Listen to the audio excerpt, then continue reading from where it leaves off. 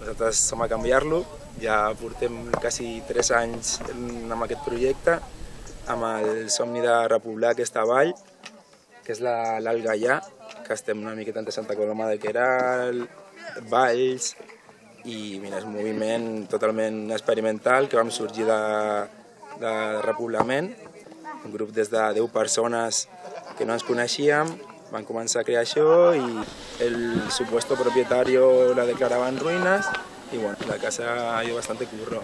Portava com 30 anys abandonada y bueno, no, no se veía ni la entrada, con mucha zarta, hemos desbrozado mucho. Aquí la casa, suerte que se hizo una reforma, estaba, había que arreglar goteras, hemos cambiado vigas. Yo vengo del pueblo de Seso de Jaca, llevamos ahí ya más de 8 años.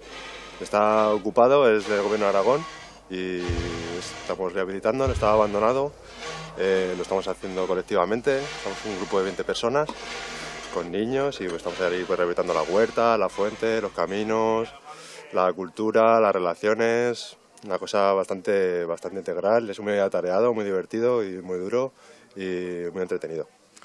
Vinc de Vilanova i la Geltrú, de Mas de Carro, que fa un parell de mesos vam entrar en un grupet amb la idea de fer un projecte allà d'autogestió social i polític.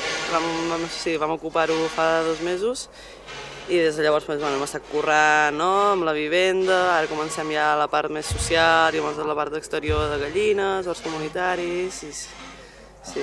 Som d'un col·lectiu que d'unes dues persones que com cap al març així tenim pensat entrar en una finca una masia i rehabilitar i això, volem fer una compra col·lectiva. La idea és des d'això d'autogestionar-nos, com anar alliberant recursos de, del sistema capitalista per d'alguna manera i fent-ho nostre per l'autogestió des de persones i terres i així, i després també la transformació social. És molt important pel nostre col·lectiu. No, Ella no, també viene de César de Jaca. La, ¿Cuántos años hace ya que estáis ya eh, por los montes vosotros dos? Pues así con sus partes de intermitencia estas. Por estas manos unos 10 años. Sí, 10, 10 añicos ya. Pues hemos venido de la zona de los pueblos indómitos de, de Huesca, del Prepirineo de Huesca, y pues hemos venido a juntarnos con, aquí con otra gente que, que forma parte de experiencias parecidas de crear una red propositiva. I bueno, he vingut aquí a la trobada no? de la xarxa de la península per començar a conèixer-nos. Pues la, la, red surge por unos encuentros que inicialmente se empiezan a hacer entre algunos colectivos de pueblos ocupados de diferentes partes de la península.